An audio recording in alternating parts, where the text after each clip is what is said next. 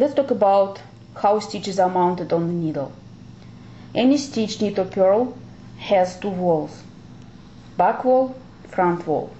Only one wall is always closer to the tip of the left needle. This is knit stitch and the way how I knit, the back wall is the closer to the tip of the left needle. So I knit through back. The way how I purl, the front wall is closer to the tip of the needle. I always purl through front. And again, the way how I knitted here, the back wall is closer to the tip of the left needle, so I knit through back. In this purl stitch, the front wall is close to the tip of the needle. I purl through front. Let's say something happened while I was knitting and I have to take stitches off the needle. They're all right now in whatever position and I have to place them back as fast as I can without even thinking if it is front wall or if it is back wall. I just have to bring them back as fast as I can. So I brought all my stitches back on the needle and now I have to work in in my pattern which is knit one purl one rib.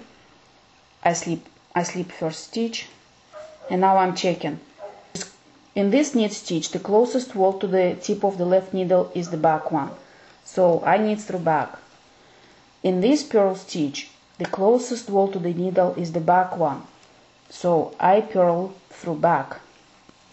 In this knit stitch, the closest needle to the tip of the needle is the front one, so I knit through front. In this purl stitch, the closest wall to the left tip of the needle is the back one, so I purl through back. In this knit stitch, the closest wall to the tip of the left needle is the front one, so I knit through front. In this purl stitch, the closest wall to the tip of the needle is the back one, so I purl through back. In this knit stitch, the closest wall to the tip of the needle is the front one, so I knit through front. In this purl stitch, the closest, closest wall to the tip of the left needle is the back one. I purl through back. In this knit stitch, the closest wall is the front one. I knit through front. In this purl stitch, the closest wall is the back one. I purl through back. In this knit stitch, the closest wall to the needle is the front one. I knit through front. In this purl stitch, the closest wall to the tip of the needle is the front one. I purl through front. In this knit stitch, the closest wall to the needle is the back one. I knit through back. This purl stitch, the closest wall to the tip of the needle is the back one. I purl through back.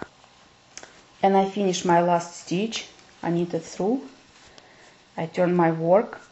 For only one row you have to follow the amount of the stitches. Now you're going to work in your routine always knitting through the back wall and always purling through the front wall. Always knitting through the back wall and always purling through the front wall. If you will learn this mount of the stitch and you understand that no matter whether you knit to purl, you always entering the needle through the closest wall to the tip of the left needle, you never will be crossing your stitches unless you really want to. So let's see, we would like actually to cross our stitches. Then what we have to do is we have to change our mind. This knit stitch, the closest wall to the needle is the back one. So for us to cross the stitch, we have to knit it through the front wall. In this purl stitch, the closest wall to the needle is the front one. So for us to cross this purl stitch, we have to purl it we have to purl it through the back wall like this. And we purl it through. In this knit stitch the closest wall is the back one. For us to cross it we have to knit it through the front. Again in this purl stitch the closest wall is the front one. For us to make it crossed purl we have to purl it through the back.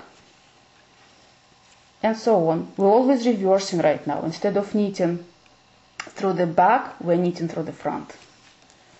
instead of purling through the front we are purling through the back